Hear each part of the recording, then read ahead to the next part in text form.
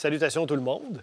Euh, on vient de faire deux jours de pêche ici sur euh, le réservoir d'Essel à la Pourvoirie du Nord. La pêche a été super bonne. Euh, particulièrement la première journée était même exceptionnelle. On a dû vous donner le goût de venir faire un tour ici à la Pourvoirie du Nord. Je suis en compagnie de David Ayotte, qui est guide de pêche ici et qui est responsable des opérations. Merci de votre accueil. Il n'y a pas de problème, pas de problème. Merci à vous d'être venu. Oui. Ouais. À date, tout le monde est enchanté. là. Euh, première question, Pourvoirie du Nord, on est situé où? On est à 40 km à l'est de Val d'Or. Tu nous prends à partir du centre-ville de Val d'Or. Tu traverses la réserve faunique La Vérandrie, tu arrives à Val d'Or, 40 km exactement, puis tu es rendu directement dans le cours. OK, puis ça, ça se fait très bien. là. Là-dessus, il y a à peu près une vingtaine de 23 kilomètres exactement. de gravier, mais c'est vraiment un beau chemin. là. C'est pas du tout le genre d'endroit que tu peux briser ton véhicule. Les gens peuvent le faire en voiture Sans problème. sans problème. Donc, euh, facile d'accès. Euh, au niveau de l'hébergement, euh, nous, on était dans un chalet. Il y en a plusieurs ici. On, en voit. a 18 exactement. 18 chalets quand même.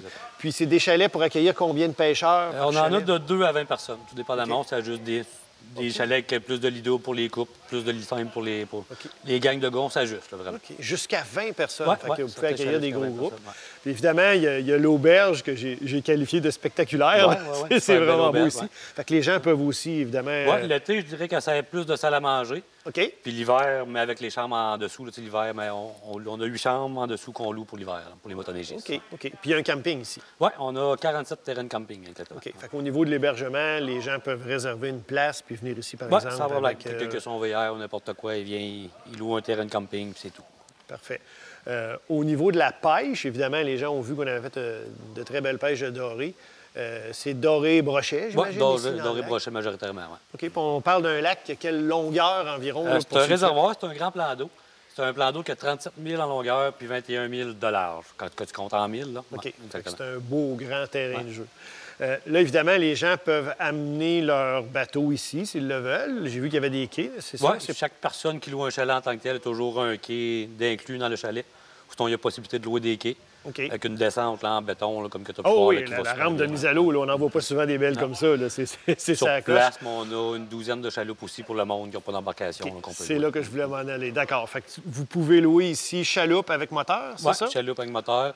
On a des guides de pêche aussi qui viennent avec le moteur qu'on peut louer directement par la pourvoirie. OK. Fait que ça, euh, tu sais, la pêche euh, reste la pêche. C'est un bon plan d'eau ici, mais c'est un grand plan d'eau aussi. Moi, j'aurais le goût de dire aux gens, si vous venez, je pense que c'est une bonne idée pour la première journée de prendre un guide. Ça l'aide grandement. Tu as bien Hein? beau d'être un très bon pêcheur, mais t'arrives, c'est tellement grand que tu dis il est dans quelle profondeur. Des fois, tu perds un temps énorme avant de tomber dessus, c'est sûr. C'est sûr. Puis, euh, par curiosité, tu guides ici depuis combien de temps? Depuis 18 ans. Je pense que ça vaut la peine d'aller passer quelques heures avec David sur l'eau, puis vous allez en bénéficier après ça tout le reste de votre séjour. là.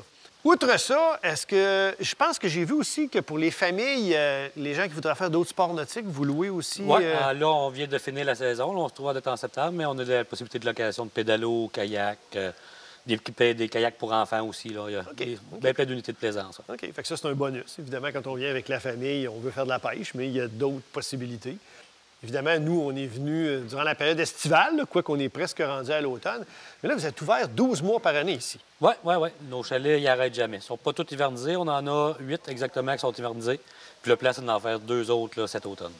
Donc là, les gens peuvent venir ici l'hiver pour pêcher le doré. Oui, ouais, on a la dire- location de cabane à pêche aussi. OK, parfait. Puis euh, est-ce que vous avez des brimbales ou des trucs comme ça si Oui, quelqu'un qui ça? arrive, qui n'a aucune installation, il vient dans la location de cabane à pêche. On a toujours les brimbales, les trous sont percés à l'avance, le bois de chauffage est inclus pour le poêle à bois. Fait que c'est vraiment clé en main.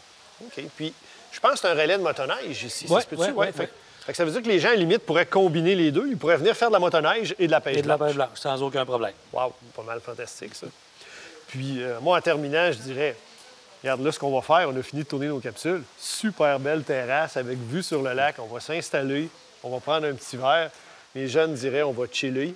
fait que David, merci beaucoup de, votre accueil, vraiment. Puis, euh, je le recommande aux gens, venez faire un tour ici euh, au réservoir de sel pour voir du Nord.